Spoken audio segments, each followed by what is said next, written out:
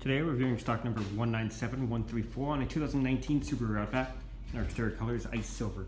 Interior options include power windows, locks and mirrors, power driver seat with lumbar support, cloth upholstery, light controls, rear hatch controls, traction control, blind spot assist controls, tilt and telescopic steering wheel, paddle shifters, hands-free communication and audio controls, cruise control, CD, AM, FM radio with auxiliary, climate control with AC, heated seats, electronic park brake, X mode, and hill descent controls. And our interior color is black.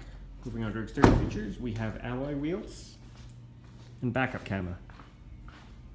Rear options include power windows, 60-40 split bench seats with center armrest and cup holders, rear USB support, and you can fold seats down for more storage space.